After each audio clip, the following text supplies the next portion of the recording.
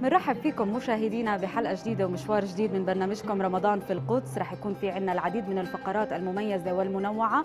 لكن قبل ما نبلش مشوارنا لليوم تعالوا أنا وأنتم ناخذ جولة سريعة داخل مدينة القدس. نستشعر بأجواء رمضان ومن بعد هيك بنبلش بأول فقرة معنا لليوم.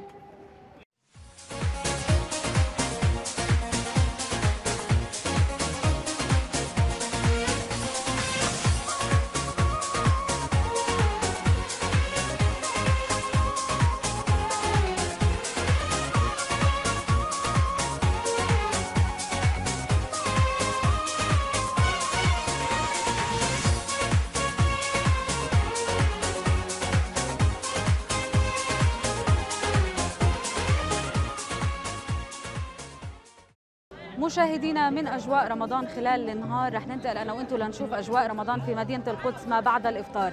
أجواء مميزة جدا رح تكون معنا لليوم وخصوصا إنه في فعالية لأول مرة بتصير في مدينة القدس. تعالوا أنا وأنتم نشوف القائمين على هاي الفعالية وكذلك نستمتع أنا وأنتم بأجواء رمضان خلال هاي الساعات ساعات ما بعد الإفطار. وخصوصا إنه كل المصلين بيكونوا خارجين من موعد صلاة التراويح وكذلك بتجمعوا في باب العمود. أنا وأنتم رح نستمتع بهاي الأجواء. خليكم معنا.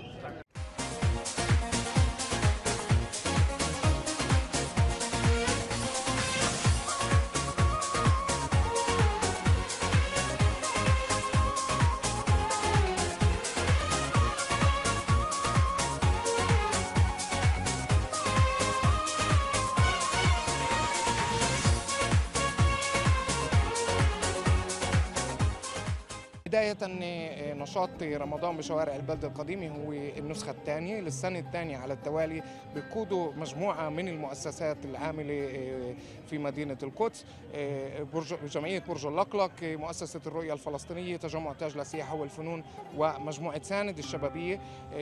النشاط بشكل عام هو بيهدف لإحياء مدينة القدس خلال شهر رمضان المبارك وزيادة أعداد الفلسطينيين حتى يمشوا في شوارع مدينتنا. أيضا محاولة لجذب القوى الإشرائية الاستهلاكية للأسواق اللي بتعاني على مدار السنة وهي فرصتها الاقتصادية الوحيدة في شهر رمضان المبارك. أيضا جزء من الأنشطة اللي إحنا بنعملها هو أيضا محاولة تعزيز التواصل مع أهالينا في داخل المحتل المناطق المحتلة عام 48 عبر تجهيز جولات بشكل دوري لفلسطينيين من الداخل حتى يجوا على مدينة القدس ضمن جولات بشكل أسبوعي. أيضا محاولة لربط الإنسان الفلسطيني والشاب المقدسي بالأرض عندنا عدة جولات في القرى المهجرة الفلسطينية اللي بتنتهي في إفطار وأيضا في أمسيات ثقافية. اليوم كان انطلاق الفعاليات بشكل رسمي عبر فعالية أكبر فانوس في مدينة القدس. الفعاليات بدأت بخلال مسيري للفوانيس انطلقت من ثلاث مواقع في مدينة القدس. مئات الفلسطينيين شاركوا في مسيرة الفوانيس اللي انتهت. في جمعية برج اللقلق وتم اضاء أكبر فانوس.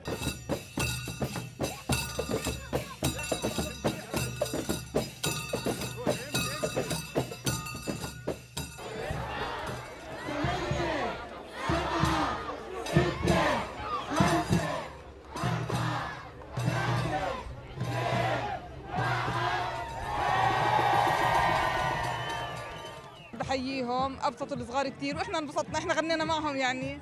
والفانوس برضه شكلهم تعبانين عليه يعني وإنه أول مرة كمان أعجبني إنه بنحط هذا الفانوس. هي فكتير شيء حلو مشجع وفي برنامج حطوه على فكرة للفعاليات كل يوم بيوم وأنا متابعته. يعني كل تقريبا كل أسبوع في فعاليتين عاملين.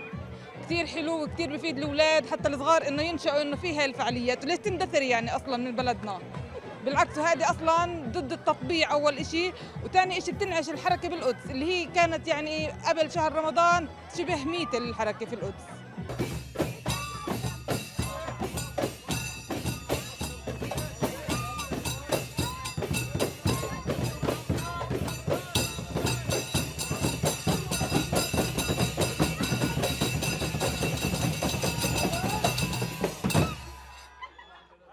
هاي الفعاليات كتير مهمة إيه، لأنه تواجدنا خف قليلا في داخل مدينة القدس وخصوصا داخل منطقة الأسوار. فكان حلو كتير إنه يكون في مثل هيك مبادرات مثل هيك فعاليات مهمة جدا لترجع تحيي المناطق الموجودة داخل البلدة القديمة وترجع تعيد حركة المرور في البلدة القديمة. كان كمان رائع جدا إنه إحنا نكون مختلف فئات مجتمعية مختلفة كبار صغار ختاير شباب نمشي كلنا حاملين فوانيسنا داخل البلدة القديمة. نرجع نشوف هاي الأجواء الرمضانية اللي ممكن إلنا فترة كتير بعيدين عنها والبلد تحت.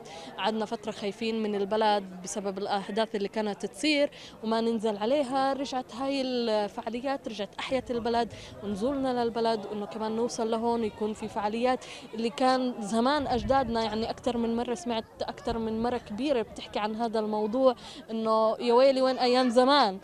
فكان قد إيه حلو إنه في ناس عم بتغني وعم تحكي مثل أيام زمان وقد إيه هذا الفانوس كبير وحلو يضيء كل القدس مش بس منطقة باب حطة أو برج اللقلق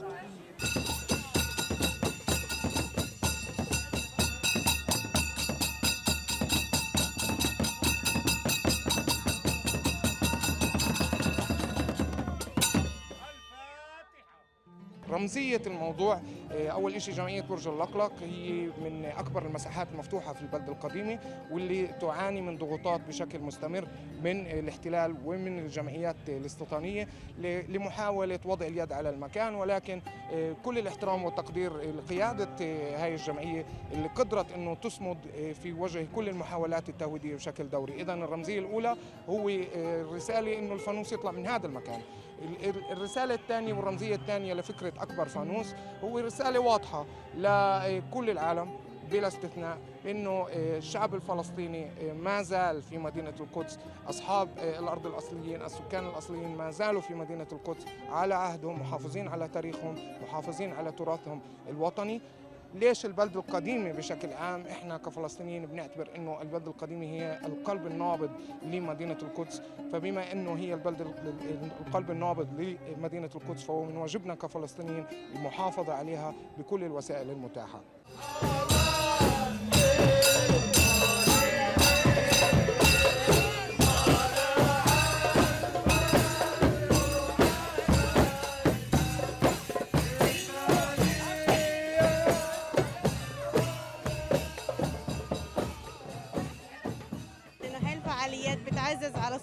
الشعب المقدسي داخل القدس والبلدة القديمة مخصوص إنه كثير ناس من خارج القدس بيجوا على مدينة القدس. فمثل هاي الفعاليات بتكون بتعرفهم على البلدة القديمة بشكل أكبر.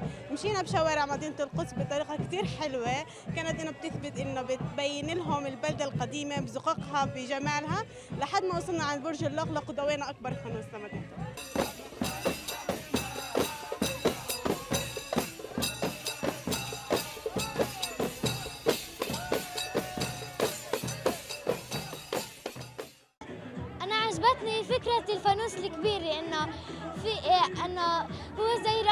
رمز برمضان أنه آه، زي للعيد وفرح فأنا كثير حبيته. و وانبسطت عشان صاروا أنه في أغاني والناس صارت تمشي و... و... لشعبنا. فهذا رمز لشعبنا. فأنا كثير حبيت هذا الإشي.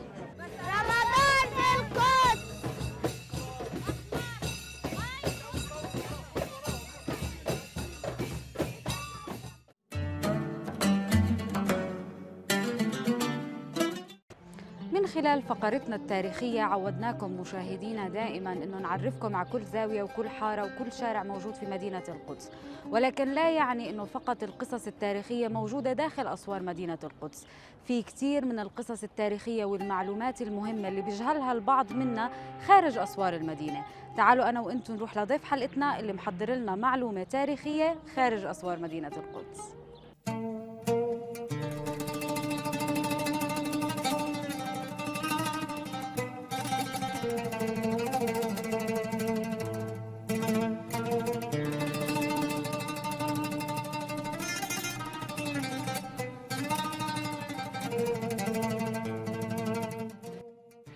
نتكلم اليوم عن أهم المقامات المبكرة التي أقيمت في آه، العصر المبكر للسلطان سليمان آه، القانوني أو آه، نهايات عصر السلطان سليمان القانوني ولكن العصر المبكر للدولة العثمانية في مدينة القدس. هذا المقام يعود إلى أهم رجالات الدين في العصر العثماني وهو الشيخ أحمد الدجاني الذي ولد عمليا في القرن الخامس عشر وتوفي في آه، العقد السابع آه، من القرن آه، السادس آه، عشر. وبني هذا آه، المقام خارج آه، مدينة القدس رغم أن كل المقامات في مدينة القدس كانت تبنى داخل مدينة القدس ولكن لأن الحي الذي كان يسكن به هو أيضا خارج مدينة القدس حي النبي داود أيضا دفن خارج آه، إطار آه، مدينة القدس. المبنى آه، آه، لا يتجاوز مساحته آه، ال 28 متر مربع ويبعد عن آه، آه، باب آه، الخليل إلى الجنوب الغربي من آه، باب الخليل وهو الباب الجنوبي الغربي لمدينة القدس المسورة يبعد حوالي آه، اثنان آه، آه، أو كيلومتران. وهذا ال- آه، المقام. من المقامات التي تتسم بالفخامة نوعا ما كونها تحتوي على مدخل آه، كان له آه، آه، قنطرة صغيرة جدا تتيح المجال للدخول إلى القبر والتبرك به مما شكل استقطابا إنسانيا وديمغرافيا لزيارة هذا المكان في العصور اللاحقة حتى عصر الانتداب آه، البريطاني. وكونه أيضا هو جزء من مقبرة مأمن اللاحق يقع على الطرف الجنوبي الغربي من مقبرة مأمن الله التي تحول الجزء الغربي منها إلى حديقة سمى حديقة الاستقلال. لذلك يقع في مركز حديقة آه، آه، الاستقلال. له قبة ضحلة رحبة. وهذه القبة الضحلة الرحبة في مركزها أو تحت تحت آه، منتصفها أو مركزها يقع قبر آه، آه، الدجاني المعروف بالعالم ال- الحيي. وهو يعني وه- وهو علامة على أن هذا العالم كان خجولا آه، بعض الشيء آه، رغم آه، كثرة علمه وبحره الواسع في العلوم الشرعية والفقهية.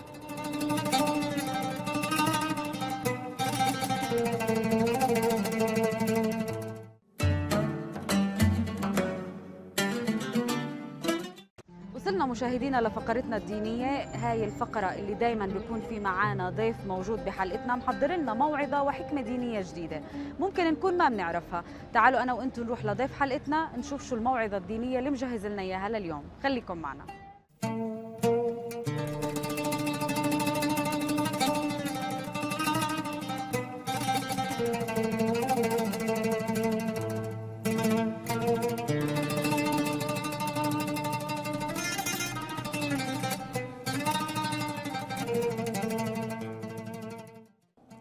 الله الرحمن الرحيم الحمد لله رب العالمين نحمده تعالى ونستعينه ونستهديه ونستغفره ونعوذ بالله من شرور أنفسنا ومن سيئات أعمالنا من يهده الله فهو المهتد ومن يضلل فلن تجد له وليا مرشدا وأشهد أن لا إله إلا الله وحده لا شريك له وأن محمدا عبده ورسوله وصفيه من بين خلقه وخليله بلغ الرسالة وأدى الأمانة ونصح الأمة وكشف الله به الغمة وتركها على محجة بيضاء ليلها كنهارها لا يزيغ عنها إلا هالك. أما بعد فيقول عليه الصلاة والسلام إنما الأعمال بالنيات وإنما لكل امرئ ما نوى. فمن كانت هجرته إلى الله ورسوله فهجرته إلى الله ورسوله. ومن كانت هجرته لدنيا يصيبها أو امرأة ينكحها فهجرته إلى ما هاجر إليه. إخوة الإيمان هنا كان حديث الحبيب المصطفى صلى الله عليه وسلم حديث النية والذي يشمل جميع العبادات وأيضا أمور الدنيا كلها من أجل أن تكون النية خالصة لوجه الله سبحانه وتعالى. فلذلك تشرع النية في العبادات فالنية هي أصل دخول العبادات. فقبل الصلاة والنية وقال العلماء أن النية محلها القلب. ويجوز أن يتلفظ بها خصوصا في الحج. وأما محلها الأصلي فهو القلب. وإذا تلفظ بها فلا بأس في ذلك. فلذلك ولكن محلها الأصلي القلب من عند الله سبحانه وتعالى. فلذلك أن يخلص الإنسان في كل أعماله لله سبحانه وتعالى. فتشرع الصلاة فالصلاة يسبقها النية الصيام. يشرع أيضا أن تسبقه النية. فشهر رمضان المبارك إما أن يبتدئه الإنسان.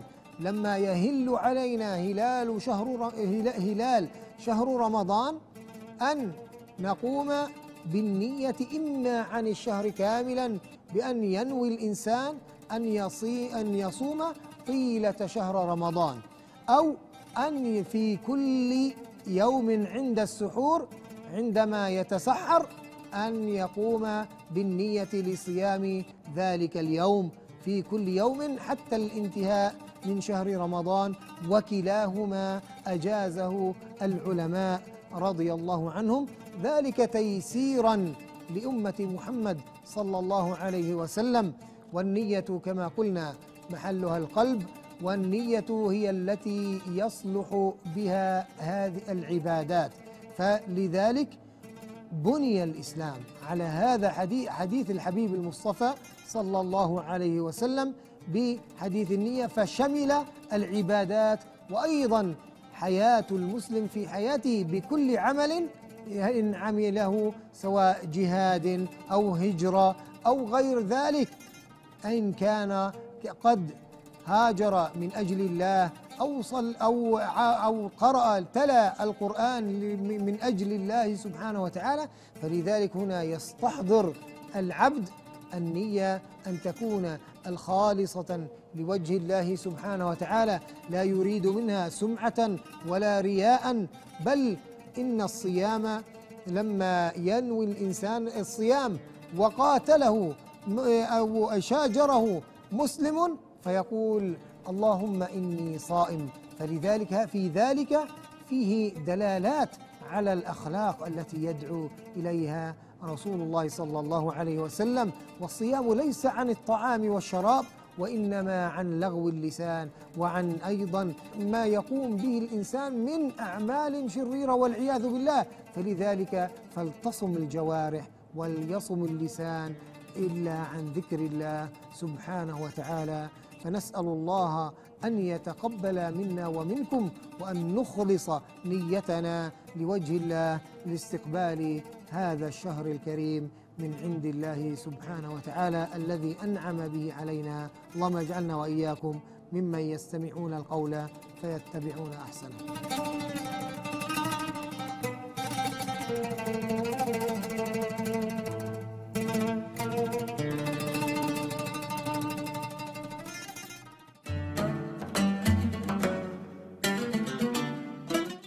مشاهدينا وإحنا بنتجول في عاصمتنا الحبيبة عاصمتنا الأبدية مدينة القدس. وبنستمتع بأجواء رمضان أكيد دائما وابدا. شاشة تلفزيون فلسطين بهمها تسمع صوت الشارع صوت زوار مدينة القدس صوت أهلها الأصليين. شو حابين يوصلوا لنا رسالة في كل حلقة من برنامجكم رمضان في القدس؟ تعالوا أنا وأنتم نتجول بين الناس ونشوف شو رح يخبرونا لليوم. خليكم معنا.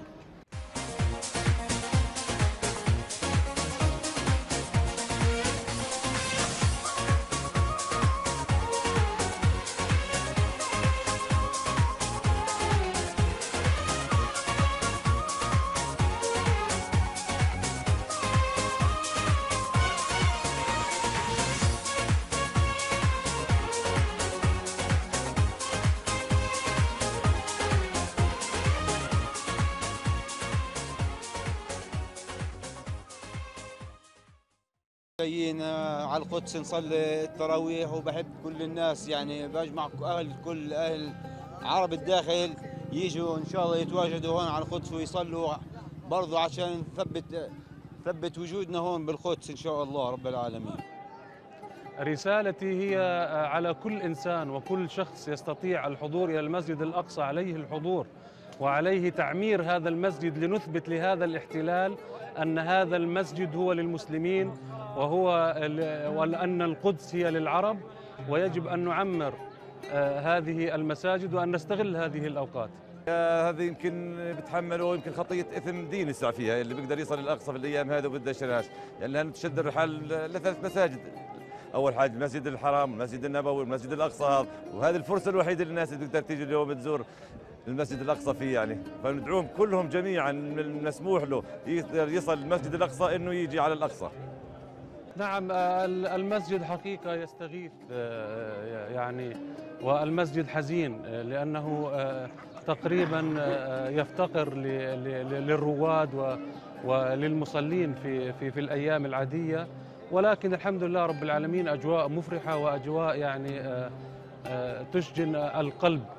آه، عندما يعني ندخل إلى المسجد الأقصى نشعر بال- بالنشوة ونشعر بالنصر حقيقة أننا وصلنا إلى المسجد الأقصى وأن وما يثلج صدورنا هذه الأعداد ال- الكبيرة وهذه الأعداد آه، آه، آه، التي جاءت إلى المسجد الأقصى. هذا يدل على أن الناس لا زالوا في قلوبهم المسجد الأقصى ولا ينسون المسجد الأقصى سواء جيلنا أو الجيل الذي قبلنا أو الجيل الذي بعدنا. فهذا يتحف ويثلج صدورنا. بأن الناس يأتون من كل فوج ومن كل فج ومن كل منطقة.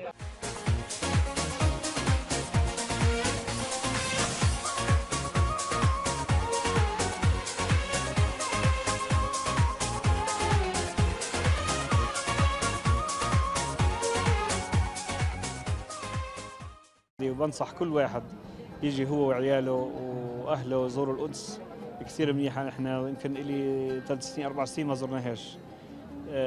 في الحواجز فيش شيء الحمد لله. يعني آه، الرجال فوق ال 40 بيمشوا والبنات والنساء ما فيش أي قيود عليهم. يعني ما فيش أي قيود ولا حاجة. والحمد لله يعني كانت الأمور مسهلة. يعني ساعة كنا من الخليل لل- للقدس ساعة كنا موجودين ولحقنا الصلاة وصلينا الظهر والعصر. الحمد لله رب العالمين. أجواء ممتازة هانا وبشجع كل الناس تيجي يعني في رمضان. آه، و- والله انبسطنا ودعينا للناس ولأولادنا وأجواء بتجنن يعني. شعوري كان مبسوطة جدا لما دخلت الأقصى. وأنا وجبت جراتي وإحنا كليتنا وشجعنا بعضنا وجينا صلينا وانبسطنا مع بعض وتسوقنا والحمد لله كويس.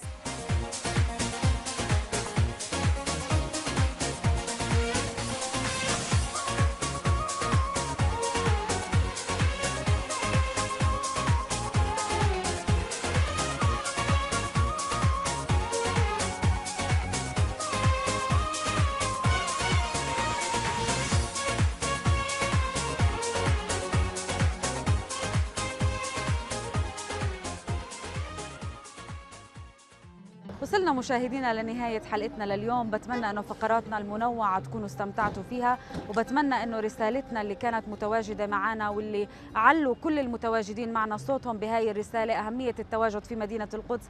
أنا دايما بنهاية الحلقة بكون أقول لكم استنوني بنفس الموعد لكن نفسي في يوم من الأيام أنه يجي حدا من مشاهدين برنامج رمضان في القدس يقول أنا سمعت الرسالة ويلاقيني بشارع من شوارع مدينة القدس أو بحارة من حاراتها. إذا بكرة إلنا لقاء بنفس الموعد بحلقة جديدة من برنامجكم رمضان في القدس.